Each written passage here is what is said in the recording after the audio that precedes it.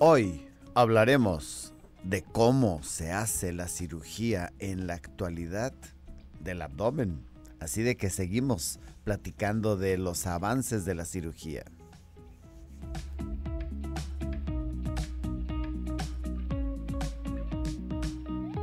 ¿Tú cómo quieres vivir? ¿Saludable? ¿Contento? ¿Feliz? ¿Relajado? Feliz. Radio Mujer te dice cómo mantener y recuperar tu salud en un programa que te orienta de pies a cabeza. Quiero vivir. Los temas médicos de tu interés tratados por un especialista, el doctor Gilberto Priego. Tu cita está lista. Adelante.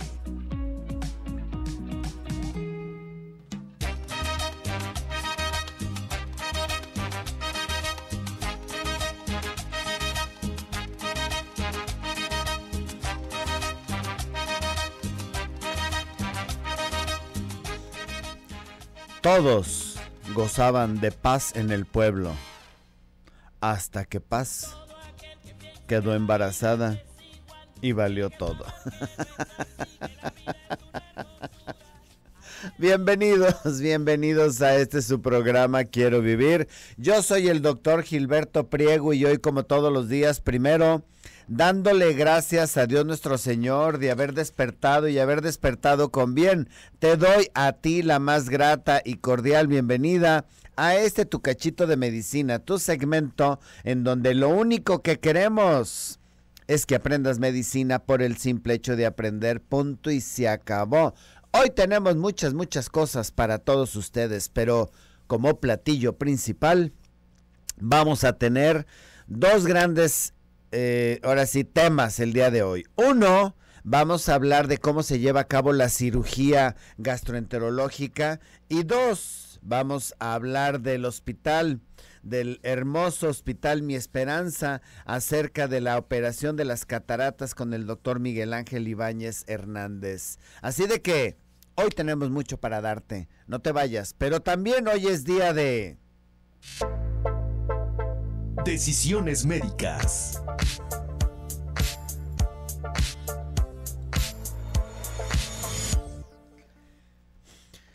Este es un caso que cada vez ah, se vuelve como más común. Es un paciente que revisa a un médico, eh, se le encuentra clínicamente una apendicitis aguda con datos eh, clásicos de dolor de apéndice. Eh, la familia dice que se la va a llevar a una institución de salud, al muchachito. Se lo llevan a la institución de salud, allá lo revisan, lo checan y le dicen que no, que no tiene apendicitis, que lo que tiene es colitis. Regresan con el médico y le dicen, opérelo, pero quiero que me dé toda la información para demandar a la institución. Fíjense bien, ¿eh? Este es un paciente en donde un médico particular revisa al niño, dice tiene apendicitis, la familia dice no lo vamos a llevar a la institución, en la institución le revisan, le checan y le dicen no, no tiene apendicitis, el muchacho sigue, el muchachito sigue mal, regresan con el médico y le dicen al médico opérelo, pero quiero que me dé todos los elementos para poder demandar a la institución por lo que ustedes gusten. ¿Qué haces tú? El objetivo es demandar, el objetivo es demandar a la institución o resolverle el problema al niño. ¿Qué harías tú? Participa para que te lleves uno de estos dos super check-ups básicos que te regala cada miércoles Laboratorios Chopo, la sucursal Chopo Care que está en Avenida Justo Sierra 2350. Estos dos super check-ups incluyen biometría hemática, química sanguínea, perfil completo de lípidos, pruebas de función hepática, perfil de colesterol, bueno, perfil de lípidos, electrolitos, perfil de hierro, inmunoglobulinas, proteína C reactiva, examen general de orina. Son cerca de 40 exámenes que le realizan a tu organismo para que pues, te des una idea de cómo está todo por dentro. Y son un obsequio de Laboratorios Chopo. La verdad, por la calidad que da Laboratorios Chopo, son super check-ups que no hay quien los iguale en precio y yo siempre los recomiendo. En este caso, Uno a través de las líneas telefónicas 31 22 11 90 y 36 47 18 83 y otro de los super checkups a través de la línea WhatsApp 33 10 19 07 12. Y sin más, bueno, antes del sin más, ay, un cafecito. Fíjense que ayer este, fui a desayunar con mi hija y fuimos a un restaurante de una cadena, pues rica la comida, o sea, lo que sea, pues comida rápida pero muy rica. Eh, pero ¿qué creen? Horror de horrores. Ahorita voy a regresar. Olvidé mi taza en, en, la, en la mesa. Entonces son tazas que hasta yo las tengo grabadas con mi nombre. Dices, no, espérame. O sea, mi taza, esa no la puedo perder. Como no son rutinas que haces cotidianamente. Ayer no traía carro, por eso es que traía la taza en la mano. Habitualmente pues la taza la dejas en el coche, pero pues ayer no traía automóvil, entonces pues así está. Bueno, vamos a disfrutar nuestro cafecito. Disfrútalo tú en tu casa. Mm, escucha. Mm, mm,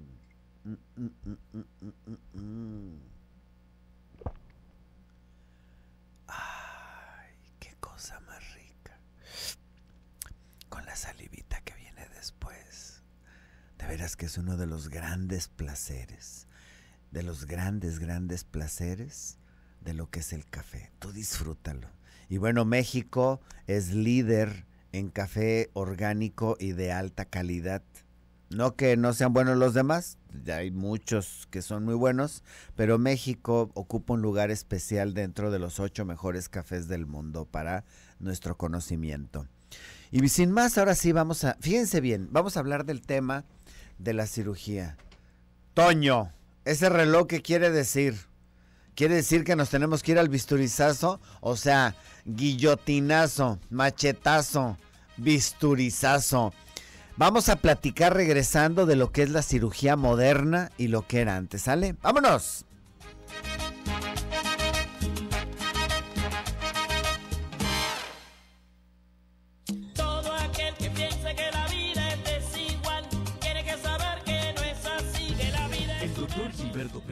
Es cirujano gastroenterólogo. Si deseas concertar una cita, marca al 3616-6010.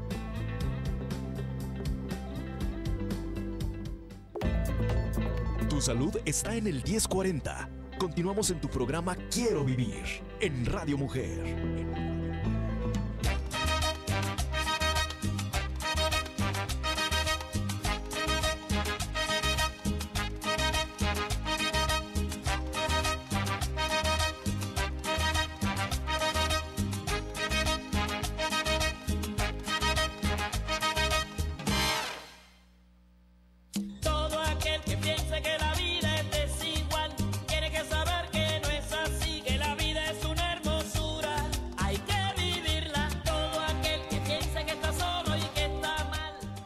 Dicen que existen dos tipos de celos, los feos y los bonitos. Los feos son cuando hay inseguridad y los bonitos son cuando se los echas en la cara.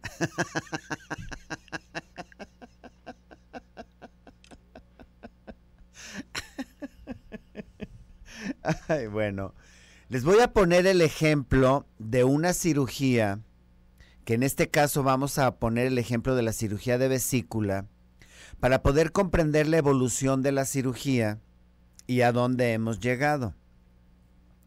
La cirugía de la vesícula fue una de las primeras grandes cirugías intraabdominales que se hizo. Claro, primero está el apéndice secal y todo lo que implica. Bueno, y la primera cirugía fue quitarle un tumor de ovario a una señora en Estados Unidos. Pero siendo tan frecuente la enfermedad de la vesícula biliar, esta cirugía se convirtió, ahora sí, en un hito poder quitar la vesícula y que el paciente sobreviviera. Quitar la vesícula, que es una estructura que, pónganle 10 centímetros promedio cuando está enferma de longitud, que está inflamada y que va conectada a la vía biliar, a la vía que viene del hígado, requiere habilidad para poder encontrar estos conductos que unen a la vesícula, el conducto que es de la vesícula con la vía biliar. Ok. Cuando empieza la cirugía intraabdominal, operábamos con las manos. Es decir, con la mano sujetabas la vesícula para identificar estas estructuras. Y por lo tanto, la abertura que hacías en la cavidad abdominal era para que cupieran dos o tres manos, porque operábamos con las manos. De ahí las cortadas de vesícula de 25 centímetros a 30 centímetros, porque era la mano del ayudante que separaba los intestinos, en este caso el intestino grueso y el duodeno, la mano de otro ayudante que se basaba, ponía un separador metálico para levantar el hígado, y tus dos manos como cirujano para poder poner una pinza en la vesícula y poderla traccionar con tus manos y despegar con tus manos la vía que unía, el conducto que unía la vesícula con el conducto colédoco o el hepático común, que es lo mismo. Comprendemos por qué se tenían que hacer esas cortadas de 25-30 centímetros, porque operábamos con las manos, nos ayudábamos con pinzas, con pinzas, pero realmente operábamos con las manos. Y entonces, dependiendo del tamaño de tu mano, pues era la abertura que tú hacías. Mientras manos más grandotas, pues aberturas más grandotas. Al grado que antiguamente se decía, había como un axioma que decía, grandes cirujanos, grandes cortadas o grandes incisiones. Con el devenir de los tiempos, Estamos hablando de los ochentas, entrando a los noventas. Los ginecólogos operaban y hacían las salpingos a través del ombligo, inflando el abdomen, metiendo aire para poder localizar dónde estaban las trompas y ponerles unas grapitas para poder crear una oclusión tobárica bilateral.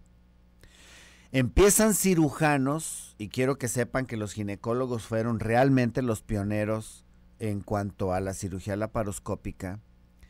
Y entonces empiezan cirujanos con la inquietud, bueno, si es tan relativamente fácil poner grapitas en un conducto, como en este caso es las trompas de falopio, las trompas del útero, ¿no podrá ser relativamente fácil poner grapitas en el conducto que une la vesícula a la vía biliar y extraer la vesícula? Y en esta forma nace la cirugía que va a ser hoy el hito, el boom, que es la cirugía laparoscópica. La cirugía en donde sin abrir al paciente, a través de pequeños orificios, soy capaz de desprender la vesícula biliar de los conductos que la unen y ingeniármelas para sacarla. Porque cuando es un guarache, pues a veces tenemos que abrir más la piel para que poder extraer la vesícula. Entonces, la diferencia entre la cirugía de antes y la cirugía de hoy es que en la cirugía de hoy opero con instrumentos de 3 milímetros. Para introducirlos, tengo que crear las condiciones idóneas. Uno, inflar la cavidad abdominal. Creemos, y muchos tenemos este pensamiento, que cuando decimos inflar el abdomen estamos inflando los intestinos. No. Los intestinos están contenidos en la caja abdominal, llamémosle así una caja abdominal en donde por delante tenemos el músculo recto abdominal, a los lados tenemos el músculo oblicuo mayor, oblicuo menor y transverso. En la parte superior tenemos el músculo diafragma, en la parte inferior tenemos todos los músculos del hueco pélvico y en la parte posterior tenemos los músculos paravertebrales y el eje de la columna vertebral. Entonces, esto es una caja que tiene seis caras y todas son musculares. Por lo tanto, si yo duermo al paciente y relajo sus músculos, puedo poner una aguja, inflar, es decir, inyectar aire para separar esta caja muscular de las vísceras y crear una cueva que me permita tener un área de trabajo, como imagínense como una cueva, y como tal, esta área de trabajo está obscura y por lo tanto necesito, uno, seguirle inyectando aire porque el organismo absorbe este aire. Dos, meter luz para yo poder ver. Y tres, la imagen a través de un video en vivo, sacarla ya poniendo luz adentro del abdomen, sacarla y trasladarla a un televisor, a una pantalla, para yo poder ver lo que está viendo la lente que introduje dentro de la cavidad abdominal. Esto sería como que te dieran una caja envuelta hermosísima. Te dan un regalo y es una caja que está envuelta hermosísima y dices, no quiero romper la caja, pero quiero ver qué hay adentro. Y entonces le haces un agujerito a la caja, a la caja y metes una lente, en este caso metes una, haces el agujerito para que entre lo que sería una videocámara, el lente de una videocámara, pero imagínate que el lente de la videocámara a un ladito tiene luz y te tiene que iluminar para yo poder ver qué hay por dentro. Pero resulta que adentro del regalo hay como papel cortado. Y entonces haces otro agujerito y metes una pincita para quitar ese papel para que te permita ver el regalo. Pero con una sola pinza no puedes, entonces haces otro agujerito y metes otra pinza que representaría tus manos y con eso puedes movilizar todo lo que está dentro. Este ejemplo es el mismo de la cirugía laparoscópica. A veces las personas lo conocen con el nombre de cirugía de los agujeritos, lo conocen con el nombre de la cirugía láser. Y bueno, pues para que lo sepamos, trabajamos exactamente igual. O sea, la operación de la vesícula es la misma. Tenemos que sujetarla y tenemos que desprenderla de la vía biliar. La diferencia está en que ahora ya no metemos las manos, por lo tanto ya no hay que hacer la cortada. Metemos una lente, insuflamos, metemos aire, en este caso se mete dióxido de carbono, Metemos una lente que avienta un chorro de luz, capta la imagen en video, la pasa a una pantalla de televisión y tú haces otros agujeritos para meter instrumental como si fueran tus manos de 3 milímetros. Una vez que tienes todo identificado de la vesícula, metes una engrapadora. Una engrapadora que avienta grapas de 5 a 10 milímetros para engrapar y poder cortar y desprender la vesícula, que sería lo mismo que con tus manos cuando suturabas o cosías con hilos, pero a través utilizando tus manos. La técnica quirúrgica es la misma. Lo que, o sea, el objetivo de la cirugía es el mismo, quitar la vesícula biliar. Lo que cambia es la técnica. Ya no utilizamos las manos, utilizamos instrumentos de 3 milímetros, por lo tanto, hacemos pequeños orificios a través de los cuales trabajamos con el único objetivo, en este caso de la vesícula, de desprender la vesícula biliar. Tenemos que irnos al bisturizazo. Hoy es día de decisiones médicas. Eh, Laboratorios Chopo Care, la sucursal Justo Sierra 2350, te regala estos dos super check-ups. ¿Qué harías? ¿Operas al niño con el objeto de darle toda la información para la demanda o lo operas para salvarlo y después hay que se hagan bolas los papás? ¡Vámonos!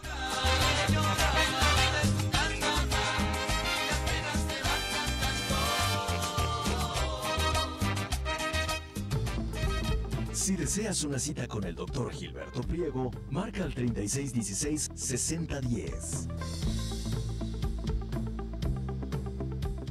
¿Eres una persona saludable?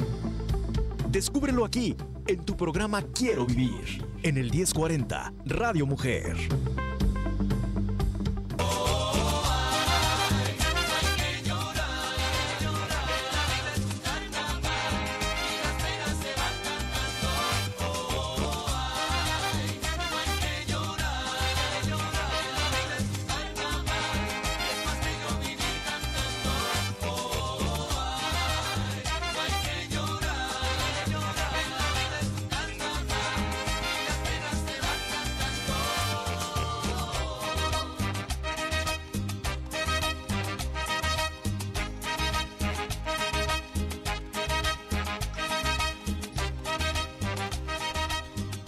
Estamos aquí de regreso en este su programa Quiero Vivir. Les recuerdo que hoy es día de decisiones médicas, Laboratorios Chopo, la sucursal Chopo Care de Justo Sierra 2350 nos está obsequiando dos super check-ups, uno a través de las líneas telefónicas y otro a través de la línea WhatsApp. La pregunta es la siguiente, un niño con apendicitis no le hacen caso en una institución de salud, regresa con el médico que lo diagnosticó y le dice, opérelo, pero guárdeme toda la información porque voy a demandar a la institución. ¿Cuál es el objetivo de operarlo? O sea, salvar el problema del niño o eh, prestarle oídos a una posible demanda contra la institución. ¿Qué harías tú como médico? Eso es lo que me interesa que decidas el día de hoy. Bueno, déjenme les digo que voy a promocionar el servicio de operación de cataratas una de las intervenciones más accesibles en Jalisco está aquí. La cirugía de cataratas en los ojos. Cuesta 18 mil pesos con lente intraocular incluido por cada ojo. El equipo con el que se hacen las cirugías es de los más modernos. En menos de una hora la vista se mejora. Si tienes problemas de visión, retinopatía diabética, presión arterial alta, carnosidad en el ojo, acude a consulta y aprovecha esta promoción. Además, Hospital Mi Esperanza ofrece también servicios dentales, limpieza, colocación de amalgamas, extracción dental. Hay servicio ginecológico y control de embarazo, atención médica pediátrica y general para adultos, servicios de laboratorio. Todo lo recaudado, todo lo recaudado se destina a los niños con cáncer de bajos recursos. Hospital Mi Esperanza. Si tienes alguno de estos problemas, haz tu cita, llama al 3640 4050, te lo repito, 36 40 40 50.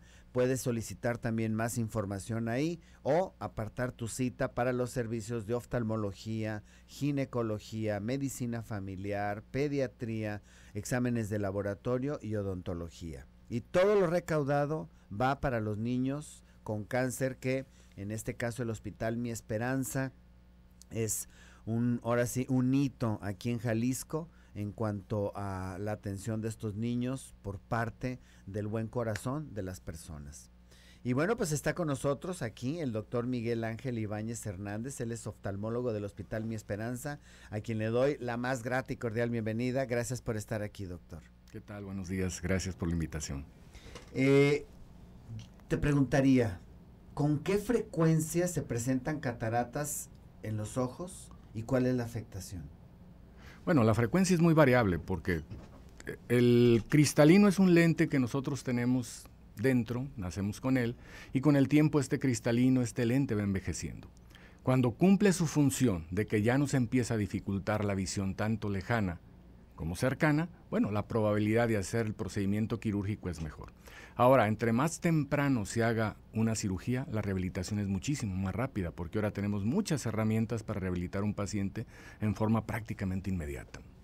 En esta rehabilitación de las cataratas, yo recuerdo que antes era como era como una operación sototota. Me acuerdo que Digo, yo estaba chiquillo, pues yo tuve mi tío que fue oftalmólogo, el, este, el doctor Manuel Pinto López, él, él fue mi tío. Y yo recuerdo que estaba chiquillo y salían con unos lentes de fondo de botella de color verde. Exacto. Y decía yo, y a mí se me hacía como, qué raro, ¿no? Pues muy chiquillo. Este, ha evolucionado la operación de las cataratas de los primeros inicios, cuando descubren que quitando este cristalino se puede mejorar la visión a los tiempos modernos. Sí, totalmente. Bueno, es un clásico ejemplo de el poder del lente que nosotros tenemos dentro del ojo. Cuando nosotros vemos esa graduación tan alta en los pacientes ya mayores que le hicieron técnicas viejas con esos fondos de botella, ese es el poder de graduación que tiene el lente dentro del ojo. Entonces, el lente en casi todos los pacientes no es igual, se modifica. Por lo tanto, esa graduación tan alta que tiene, nosotros la podemos poner ya con un lente demasiado pequeño. Es decir, cuando nosotros sacábamos todo el cristalino haciendo prácticamente cortando medio ojo en la porción superior, sacar el cristalino, eran técnicas que duraron prácticamente 100 años, muy rudimentarias. Pero a partir de prácticamente en México, inicios de los 90 para acá, viene la revolución tecnológica en cuanto a las cirugías. Ahora nos permite hacer incisiones de 2.2 milímetros, quitar el cristalino, meter lentes que se hacen taquito y dentro del ojo se despliegan y la rehabilitación prácticamente es inmediata. O sea, cuando estamos hablando de lente, es un verdadero lente Sí, con graduación y claro, todo, claro. que tú vas a salir viendo Claro. normal sin necesidad de ponerte como primera opción el lente de esos de fondo de botella. Totalmente, totalmente. Wow. lentes, lentes intraoculares hay muchísimos, es como gama de carros, en fin, es muchísimos, muchísimos lentes, muchas fábricas lo hacen y tenemos ahorita la oportunidad de corregir pacientes que eran miopes altos, pacientes que eran hipermétropes, pacientes que eran astigmatas y ahora tenemos la capacidad de corregir pacientes incluso para vista cansada. Tenemos la capacidad de poner un lente que lo haga ver de lejos, de cerca, la computadora, prácticamente todo. Como muchas afectaciones, este, pues todo empieza con un primer paso. Eh, eh, o sea, una enfermedad empieza de poco a poquito. En este caso, las cataratas nos preguntan a Rosa Ramos, y muy interesante su pregunta. Cuando dicen que tienes principios de cataratas, ¿cómo evalúo yo cuándo resolver este problema? ¿Y cuánto tiempo tarda en hacerse una, ahora sí que se opacifique totalmente el cristalino como para pensar en una cirugía? Bueno, es que esto es muy variable. Una de las clásicas es cuando yo empiezo a tener dificultades en la noche para manejar o que empiezo a ver destellos de los carros, empiezo con inicios de catarata. Madre mía de Guadalupe. Sí. Entonces esto es muy doctor. Bueno, una cosa es ver destellos y otro que los ve uno en forma constante, Ay, que tengamos dificultades sobre todo en la noche, ¿no? Gracias. Eh, es bien complejo porque como esta es una enfermedad crónica, paulatina, la Poco gente no se da cuenta. Es muy común encontrar comentarios sobre todo, es que mi abuela no usaba lentes para leer, es que mi abuelita cosía, es que mi abuelita tejía, pero tenía catarata porque el ojo hace que la misma catarata se miopice y el paciente empieza a ver de cerca, pero de lejos no ve. Pero para una abuelita de, aquellos tiempos le valía gorro, ella lo que quería era estar tejiendo y eso hace la catarata. A la hora que va creciendo el cristalino miopiza al ojo en forma artificial y hace que los pacientes puedan estar viendo un poco mejor de cerca, pero de lejos no. Entonces, eh, eh, aquí para ver cuál es la sintomatología es muy variable, obviamente disminución de la agudeza visual y sobre todo cuando yo antes veía de noche un poco mejor y ahora me cuesta trabajo, yo creo que es conveniente que vayan a revisión.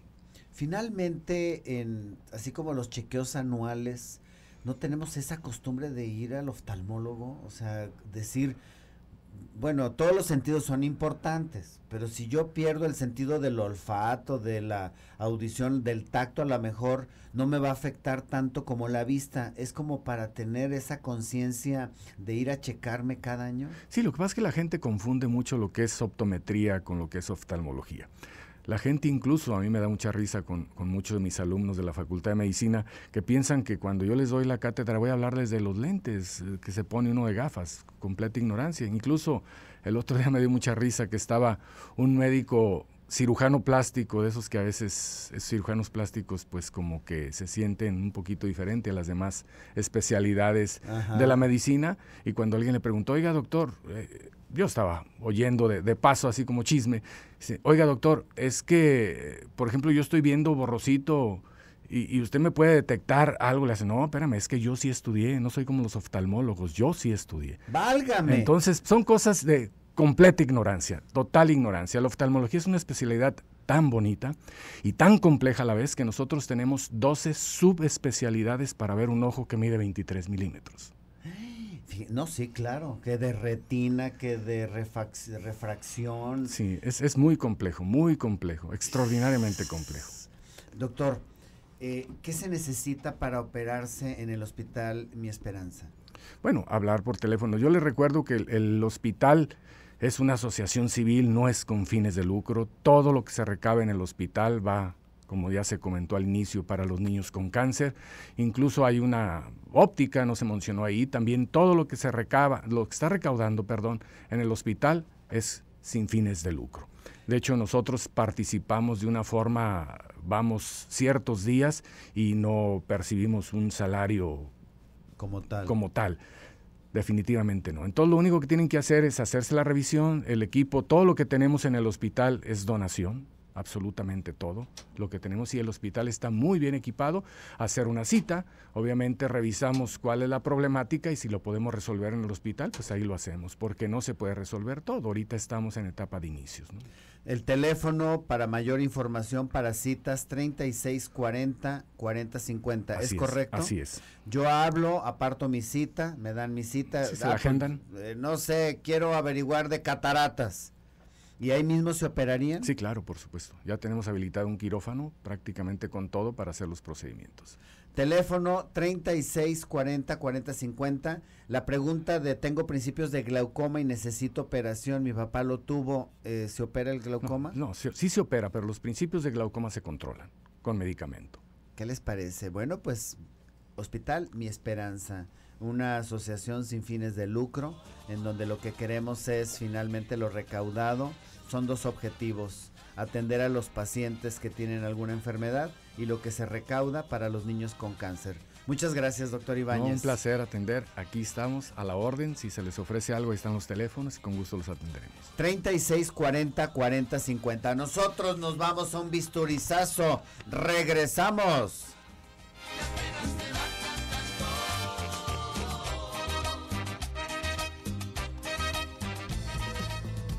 Consultar al doctor Gilberto Priego, cirujano gastroenterólogo, comunícate al 3616 6010. Una buena salud es un deber para ti mismo. Sigamos escuchando Quiero Vivir. En el 1040, Radio Mujer.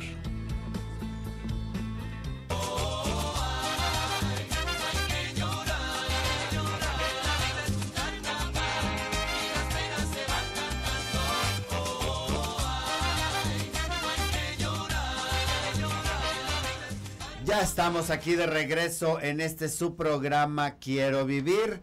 Bueno, pues a terminar rápido, a concluir nuestro tema de la cirugía de antes a la cirugía actual a través de cirugía laparoscópica. Ese es, los principios quirúrgicos son los mismos. Les pongo el ejemplo de la vesícula. Hay que extraer la vesícula. Tenemos que despegarla de sus vías que se comunica. Hoy ya no usamos suturas, costuras, lo que usamos son grapas. Igual el apéndice, igual quitar un estómago, igual quitar un colon, igual quitar un pedazo de intestino. Toda la cirugía laparoscópica, los principios quirúrgicos son los mismos, solo que ahora no abrimos el abdomen porque ya no operamos con las manos, ya no metemos las manos dentro de la cavidad abdominal.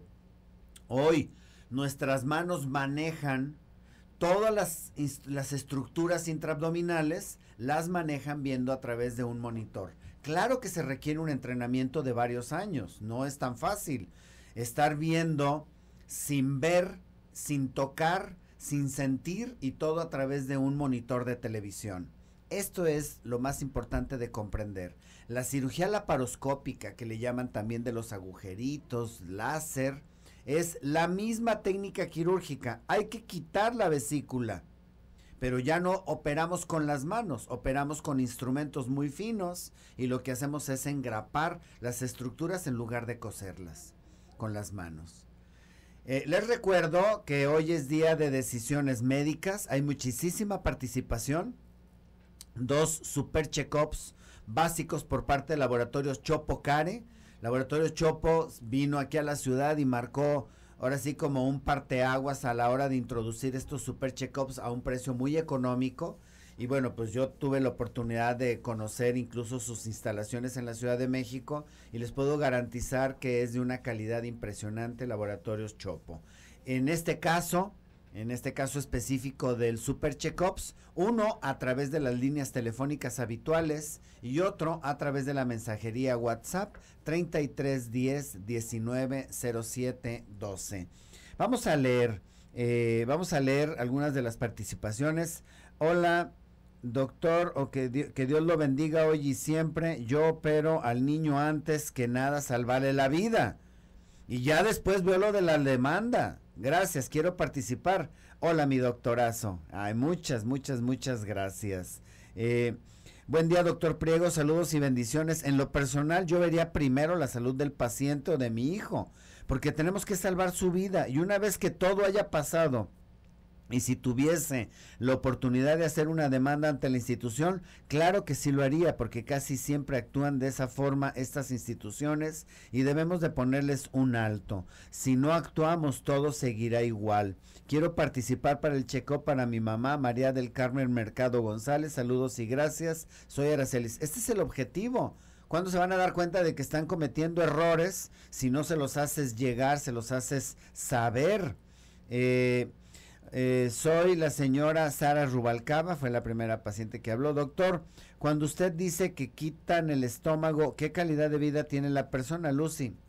Ah, miren, es tan impresionante, Dios nos hizo también hechecitos, pero también hechecitos nos hizo Dios, que le quitas todo el estómago al paciente, le subes un pedazo de intestino que va a simular como si fuera el estómago y al rato están digiriendo bueno, hasta las piedras. O sea, es increíble cómo nuestro organismo se adapta a todo lo que los a que en su momento se lo quitas. La calidad de vida de un paciente que no tiene estómago es exactamente la misma que cualquier otra persona. Y bueno, yo les pongo el ejemplo que nunca se me olvidó. Un señor con un cáncer de estómago, se le quita todo el estómago, se le sube un pedazo de intestino, se le simula un estómago con el intestino y el Señor comía de todo. Ah, pero tomaba jugo de naranja y le ardía la panza. era con el único. Le digo, pues no tome jugo de naranja, es que me gusta mucho. Bueno, pues este, pero come todo lo demás, sí, pues digo, o sea, pues no le des de palos a tu al, azote, pues, hombre, no le des de palos a tu santo. No, es que me gusta mucho, pues entonces aguántate. No, pues me aguanto. Ah, bueno, pues aguántate. Esto es así, así, igual cuando quitas todo el intestino grueso. Igual el paciente deja de tener evacuaciones sólidas, pero hace pastoso, pero las indicaciones, por ejemplo, quitar un cáncer de colon, pues estás quitando algo que te va a matar. Si eres un paciente con un estreñimiento que no respondes a ningún tratamiento, vas a descansar, de no evacuar. Yo he operado pacientes que les quito todo el colon porque no logran evacuar y dice, no, doctor, yo vivo feliz evacuando tres, cuatro veces al día, a no evacuar hasta 20 días. Es, ese es eh, la calidad de vida cuando quitamos órganos. Claro, no puedes quitar el intestino delgado, al menos no puedes quitarlo todo. Puedes quitar un segmento, pero sin intestino delgado no puedes vivir a menos de que te esté nutriendo por la vena. Pero tú puedes quitar el estómago, puedes quitar el intestino grueso y va a seguir tu vida este, bien, con una muy buena calidad de vida. Gracias por la pregunta. Eh, eh, eh, hola, tengo 64 años, me dicen que tengo principios de glaucoma. Ah, este ya, ya la leímos. Hola, hola, mi doctor Gilberto, buenísimo día. Qué triste pensar en dinero y no en él. Yo operaría no por dinero, sino por la salud y salvar los saludos. Bueno, las personas no están tanto a lo mejor, sí, claro, están queriendo demandar a lo mejor el reembolso de lo que gastan, pero realmente lo que quieren es darle un jalón de orejas a la institución de que no les hacen caso. ¿Y cuántos de nosotros bueno, yo no tengo un seguro de institución, tengo mi seguro de gastos médicos, pero que no nos hacen caso y que a veces terminan todos complicados. Sencillamente, acabo de atender un paciente que llegó con sangrado rectal. Lo tenían programado para consulta con el gastroenterólogo dentro de cinco meses. Cinco meses. La familia va, me lo lleva, dice doctor, hay que hacer, hay que hacer un estudio colonoscópico, tenemos que ver por dentro su intestino. Cinco meses lo tenían para que lo vieran. Resultó el señor con una lesión maligna. Es decir, hay que atender al paciente ya, ya, en ese momento, ya hay que atenderlo. ¿Por qué? Porque finalmente salió con una lesión maligna. Entonces, dentro de todo este contexto, claro que, pues es que se den cuenta de que algo no anda bien. Este, buenos días, doctor. Lo importante es la vida y bienestar del niño. Yo lo operaría y después ya averiguamos, claro. Y después de que hagan lo que gusten los papás. Participo por el check-up Eva Guerra Rodríguez. Como médico, opero previos estudios, hago mi trabajo, salgo la vida. Soy Berta Cárdenas, saludos, buen día. Y ya si después quieren demandar, pues que demanden, ¿verdad? Eh, buen día, yo lo opero para salvarlo. Posteriormente que ellos se hagan bolas. claro, hay que se haga bolas. Yo opero para salvarlo, ¿no? O sea, ya, eh, pues la información yo te la entregaré, ¿no? Pero pues realmente es eh, yo te opero para salvar y resolver un problema. Participo. Saludos, Eva Pelayo. Buen día, una pregunta. Mi mamá de 78 años tiene hernia yatal. Le dan ascos y como que se destantea cuando voltea. ¿Será la hernia? Gracias, señora Monse. Bueno, el asco sí se entiende, pero el mareo no ubico yo que tiene que ver la hernia yatal, a menos de que tenga tanto reflujo como para que le esté afectando el oído. Entonces ahí habrá que hacer estudios o darle un tratamiento de prueba intensivo para ver si mejora. Hay que llevarla con un buen gastroenterólogo. Buen día. Se opera el niño para salvarlo. Participa a nombre de Angelina Alvarado. Lo escuché anoche en repetición. ¿Por qué dijo que era vacunador? no es que llegó una meme que decía que el eh, eh, que una, una, persona que no una meme sino llegó una pregunta que si el no embarazarse producía cáncer y entonces yo comenté leyendo la pregunta claro que produce cáncer yo te vacuno para que no tengas cáncer entonces pero era una vacilada ¿eh? no no es que yo sea el vacunador pero Ay, Dios mío, ya me puse colorado. Eh, yo soy el vacunador oficial. No, no, no, nada de eso. Era una simple vacilada. Eh, buenos días, doctor. Primero la salud del niño. Nosotros no debemos hacerla de juez, solo Dios. Mi participación por los estudios. Soy Teresa de Jesús Cárdenas Corona. Hay mucha participación. Eh, Betty Gallardo, yo operaría con el fin de salvarlo. Lo importante es el ser humano, su vida. Una pregunta, tengo ocho días con diarrea, ¿qué tomo? Quiero participar. Pues empieza con lactobacilos y checa qué es lo que está pasando, por qué tienes diarrea. Buen día, doctor. En la noche me despertó un dolor muy fuerte alrededor del ombligo, pero más en la parte de arriba, muy duro, como 10 minutos. ¿Qué cree que puede hacer? Gracias. Alma Muñoz, o comiste algo muy condimentado o algo que estaba echado a perder y el intestino no perdona, respinga y respinga con dolor. Excelente día, me encanta su programa, doctor Priego, Dios lo bendice, siempre en mi opinión, la prioridad es salvar al niño y después ya pelearemos. Participa Alicia Margarita. Karen, vete preparando, vete preparando porque vamos a tener que participar. Excelente día, me encanta su programa. Eh, buen día. Eh, mi check-up laboratorial me toca hasta julio, pero aún así opino sobre el el caso del apéndice. Actualmente cualquier estudiante de medicina puede hacer un diagnóstico de apendicitis solo con un buen ojo clínico, una VH y un ultrasonido, por lo que yo le diría al paciente que no contara con ese informe para su demanda, pues aparte de que sería imposible que se haya equivocado, jamás acusaría yo a un colega. Doctor J. Ara Vargas. Doctor, gracias por participar. El tiempo se nos fue rapidísimo, qué bárbaro como siempre. Pero bueno, pues vamos a escoger. A ver, vamos a ver. Ahora sí. Por favor. Ver. Eh, gana Ángeles García Gómez y Lucila Pérez. ¿Qué tienen que hacer? Tienen que venir a Avenida Mariano Otero 3405, esquina con Granate, entre una plaza de un sol Así es. y la Expo Guadalajara. Con una. Con una copia de su identificación, por favor. Muchas gracias. Al contrario, buen día a todos. El tiempo se nos fue rapidísimo, no me queda más que decir gracias. Ahí estuvo el buen Toño en los controles, Karen en la producción, en el teléfono, en anunciar quiénes se lo llevan, todo, todo, todo. Y un servidor Gilberto aquí en la conducción. Recuerda, si tu médico te prohíbe el café o el chile, no le hagas tanto caso que no hay evidencia científica de que hace daño. Pero si tu médico no cree en Dios, te pregunto qué estás haciendo ahí. Mañana es día de la mother, de la madre, para que te prepares y la festejes. Que Dios te bendiga.